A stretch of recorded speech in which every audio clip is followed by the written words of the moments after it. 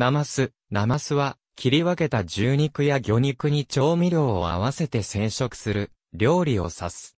牛肉を用いたものは、ナマス、魚肉を用いて、同様の調理をしたものは、ナマス、また、魚ナマスとも言った。日本では、魚介類や野菜類、果物類を細く切り、酢を基本にした調味料で和えた料理に発展した。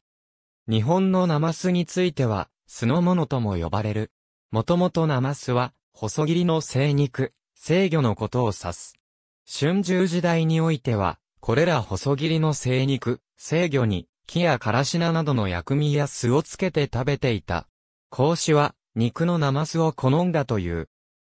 当時は、社と共に、著名な料理法として知られた。孟子では、美味しいものの例として、会社を挙げている。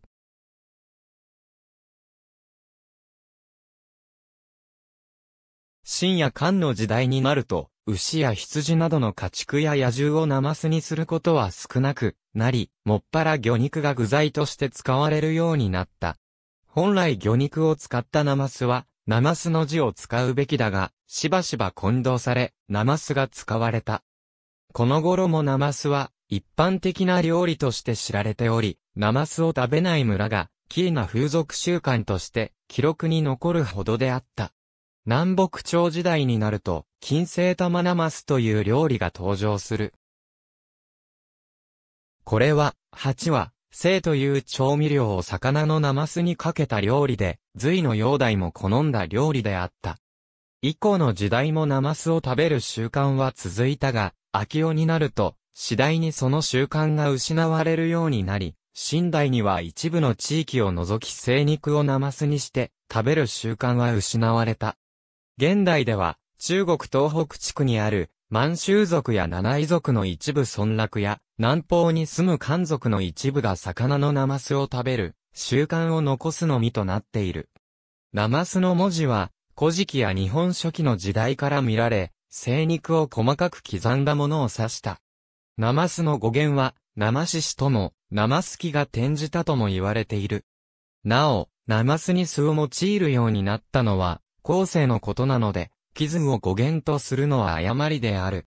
江戸時代まで、ナマスは、禅における、メインディッシュとしての扱いを受けており、禅の中央より向こう側に置かれることから、向こう付けと呼ばれるようになった。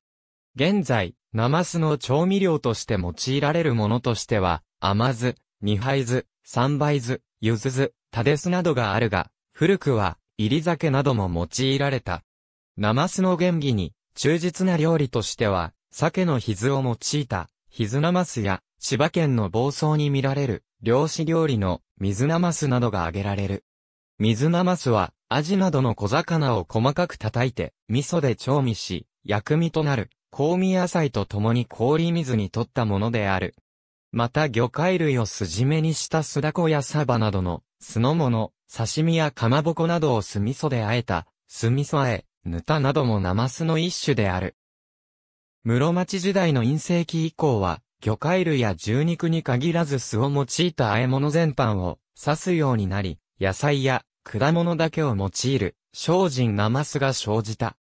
根菜類を油揚げや椎茸などと言ってから酢で和える焼きナマスは現在も家庭の惣菜として作られる。正月のおせち調理としてレンコンを使った酢バスや千切りにした大根と人参を用いた紅白ナマスが作られる。赤と白を源氏と平家の旗に見立てて、源平ナマスとも呼ばれる。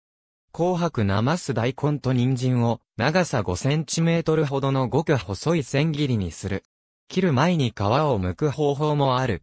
切った大根と人参に塩を振り、しんなりしたら固く絞って水気を取る。この際、大根と人参を別につけたり、重しを乗せて漬ける方法もある。酢、砂糖を混ぜて、鷹の爪と共に漬ける。柚子の皮を細かく切り混ぜる。地方によっては、ピーナッツやゴマなどを加えることもある。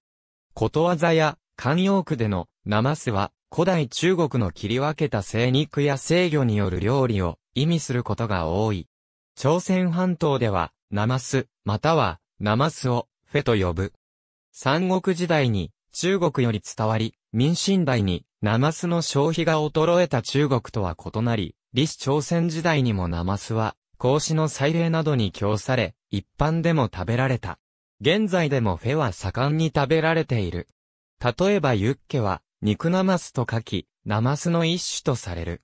また、日本統治時代に、日本から朝鮮半島に入った刺身を元にした料理も、フェと表現される。また素材は、生肉や生魚とは限らず、家畜の内臓に火を通して、野菜類と和えた、フェもある。